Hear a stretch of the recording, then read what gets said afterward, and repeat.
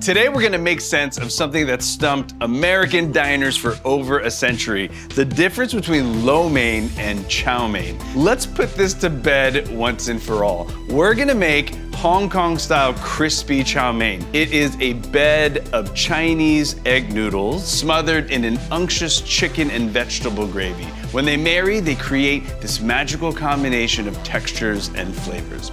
Hey guys, I am Jet Tila, and this is Ready Jet Cook, where I show you how to make my favorite Asian dishes from pantry to plate. But before we get cooking, take a second to subscribe, and you'll be able to keep up with all of my videos. Let's get started. So the first secret to making perfect crispy chow mein is understanding your noodles. For this specific dish and chow mein in general, I recommend a steamed chow mein. So most noodles at the store are either gonna come raw, where you have to cook them yourself, or they're gonna come par cooked just like this, and this will be in a package in the deli section. These are par cooked, meaning if you just fried these, they'd be really dry and inedible. So what we're gonna do is pre-steam them. On the stove, I've just got about two or three inches of water on a wok, and I'm just gonna put it into my bamboo steamer. So while the noodles are steaming, I'm gonna go grab a few of our key ingredients from the pantry. So the first thing I need to grab is some thin soy sauce to marinate the chicken in.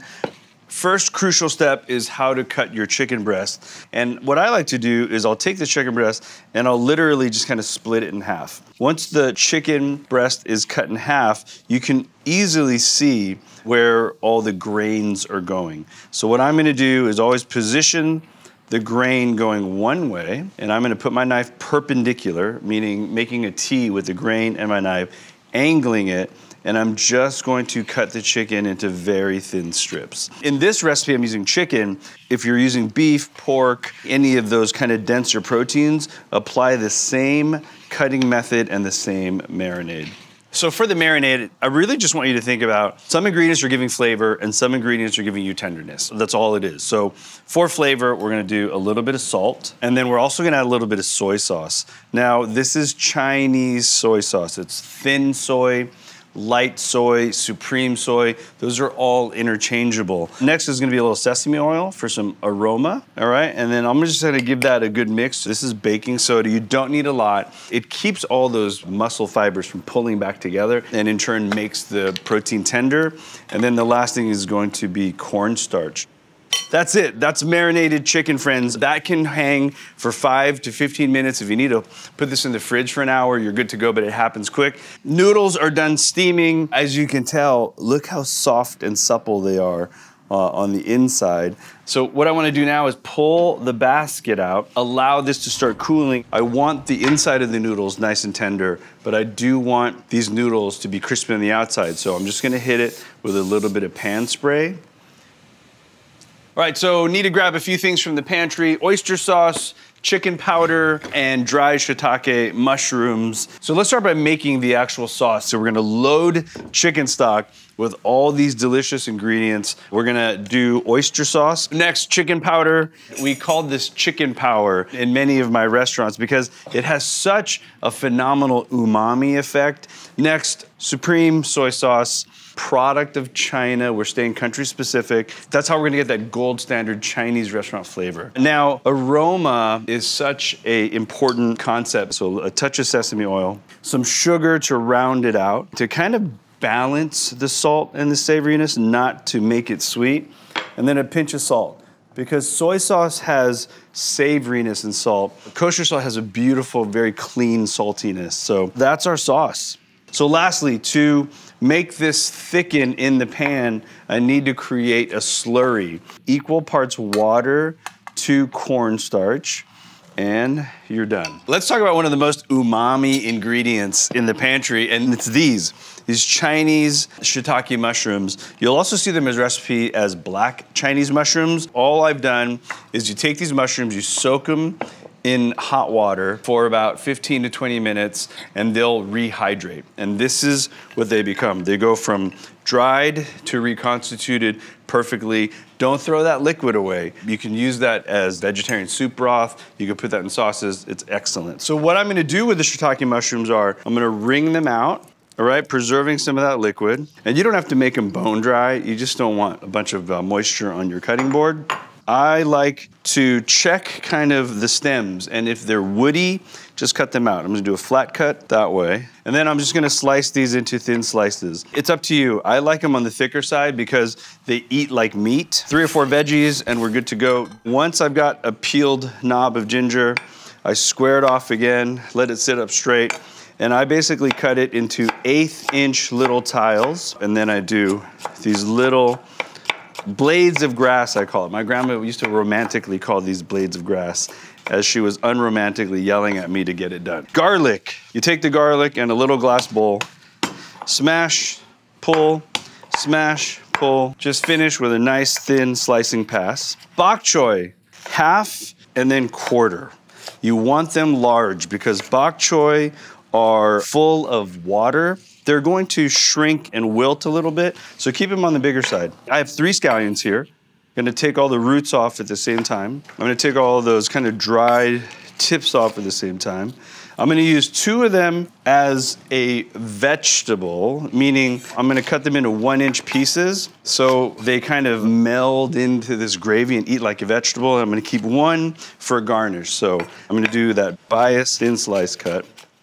Okay, knife work done, sauce done, marinated chicken ready to go. It's time to cook this dish. All right, so we're gonna twice cook these noodles. First time making them crispy. I've got a bit of oil here, brought up to about 350, 360, and you're gonna see it start to fry pretty quickly. What we're doing is creating a noodle base, right? Crispy on the outside, but not so fried that they're kind of airy on the inside. So what I'm doing is I'm forming them into the shape of the bottom of this pan, and then I'm checking the sides. I don't want these to be fried through the middle. I just want the exteriors fried. I'm gonna give this one quick flip and lay it back in.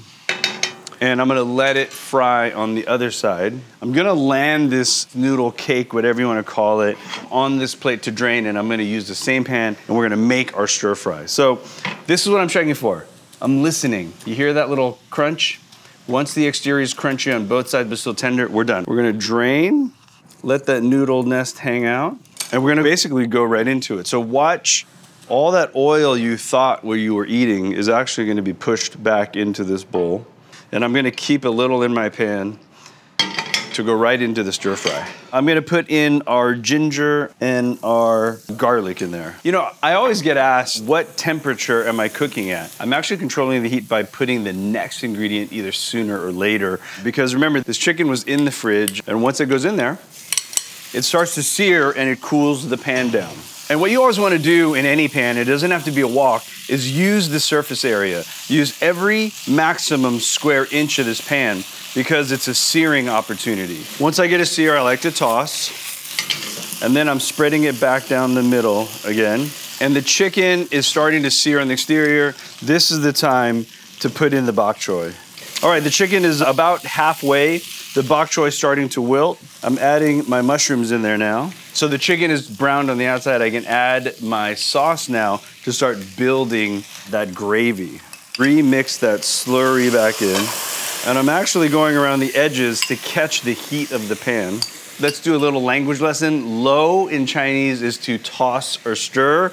You can only lo or toss soft noodles. So when you order lo mein, those noodles should be soft noodles. Chow mein, chow translation is to fry or to stir fry. So chow mein obviously is the crispy version. Not all chow mein is crispy. Hong Kong crispy chow mein is this, this beautiful crispy cake of noodles. So what I'm visually looking for is a gravy consistency that'll kind of sit over these noodles and not just kind of penetrate through.